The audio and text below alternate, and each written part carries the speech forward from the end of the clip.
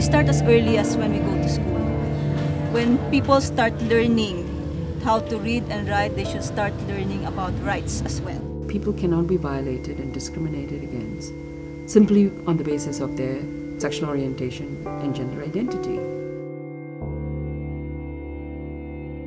Many governments claim that in the Universal Declaration of Human Rights, um, sexual orientation and gender identity is not mentioned. So they don't feel obligated to protect us. They don't feel obligated to defend our rights. They don't feel obligated to promote respect for LGBT people.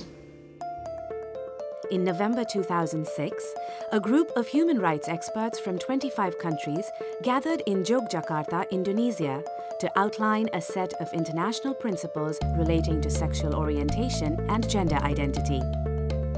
In this group were judges, professors, lawyers, national human rights commissioners, members of non governmental organizations, and human rights experts from the United Nations. They came from every region of the world.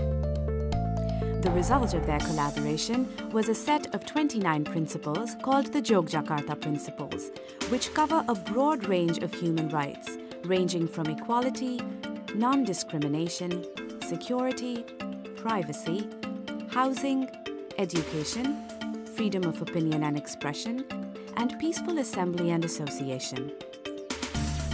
These principles provide guidance on how to apply existing international human rights law to the lives of lesbian, gay, bisexual, and transgender people. Number one is no discrimination, please. Let's just let people be. Uh, let, respect their privacy, respect their identity.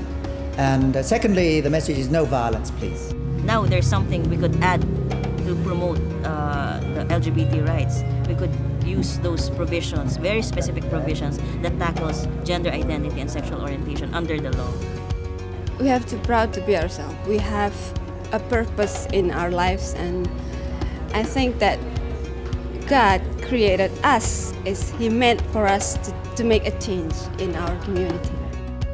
We want the government or the institutions in one's country will recognize using the Yogyakarta principles the, uh, the rights of lesbians, gays, bisexual people, transgender people, uh, that they are valid and that our rights are equal as anyone's rights.